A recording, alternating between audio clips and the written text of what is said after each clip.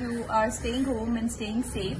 Uh, well, today's video, um, I really want to have a very important conversation with all of you. You know, we've been hit by this pandemic and none of us saw this coming. Um, but I feel very lucky and very, very grateful that I have a home and I don't have to rush for my basic necessities. But there are a lot of people who are not that lucky, um, not that fortunate, and are really struggling, especially the case of our daily wage earners.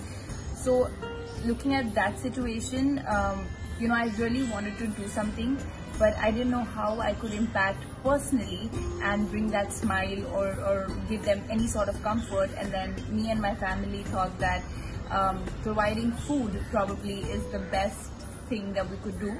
Also because because everyone works for food at the end of the day. Um, so we adopted a slum of about 250 families in Gurgaon and uh, two meals are being prepared every single day.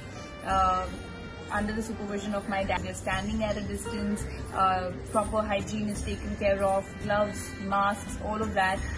And the smile that it brings if we all stand together.